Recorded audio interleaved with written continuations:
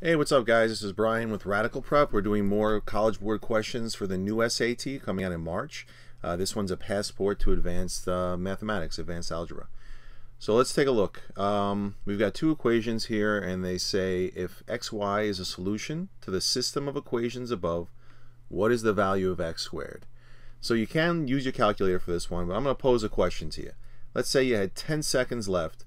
You had to guess on this and I'll say there's only two answers here which I think are worth even looking at to guess at. Could you pick them out? Take a look. So three, two, one, you got to guess. Which two don't you pick? I'll tell you right off the bat. You don't pick these two because we're dealing with x squared. So if, if we're looking for the solution for x squared, it probably makes sense that that number is a perfect square because if x squared is 144, x is 12. And if x squared is 9, x is 3.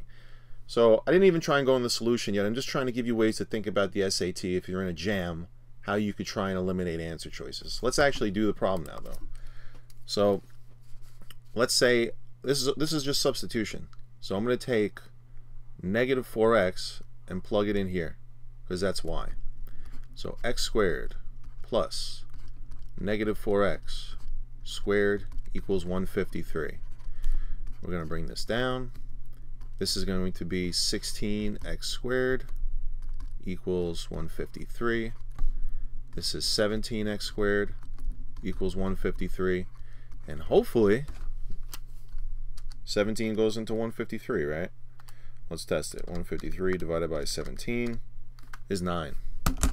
So we get x squared equals 9. What do you know? Our, our original trick of trying to eliminate uh, answers and possibly gets the right one, we would have had a 50-50 shot.